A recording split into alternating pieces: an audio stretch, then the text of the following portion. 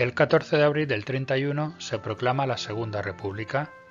Se nombra presidente a Aniceto Alcalá Zamora y se aprueba la Constitución Republicana del 31.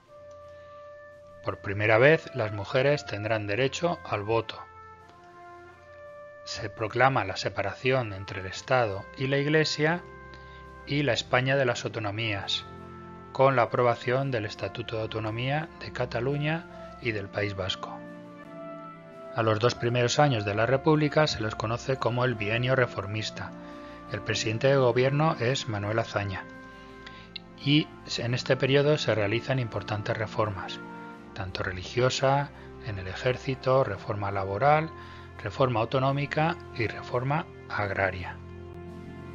Tras las elecciones de 1933 llega al gobierno el Partido Conservador y se nombra presidente a Alejandro Lerroux.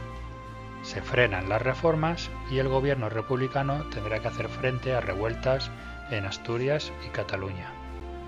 Tras las elecciones del 36 obtiene la victoria el Frente Popular, que es la unión de todos los partidos de izquierda. Se nombra presidente de la República a Manuel Azaña y el gobierno del Frente Popular intenta reanudar las reformas. Sin embargo, la situación en las calles se vuelve insostenible. Aumenta la violencia entre los partidarios y los contrarios a la República. Aumenta la represión contra la Iglesia y los asesinatos políticos, como por ejemplo el de José Calvo Sotelo, representante de los monárquicos. El 18 de julio del 36, el general Francisco Franco, con la ayuda de parte del ejército, se levanta contra la República. Es el comienzo de la Guerra Civil Española. Vamos con un resumen.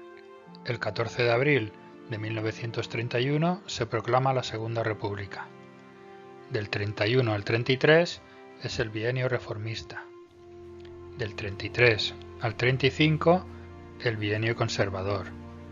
Y en 1936 llega al poder el Frente Popular. El 18 de julio de 1936, el general Francisco Franco se levanta contra la República. Es el comienzo de la Guerra Civil Española.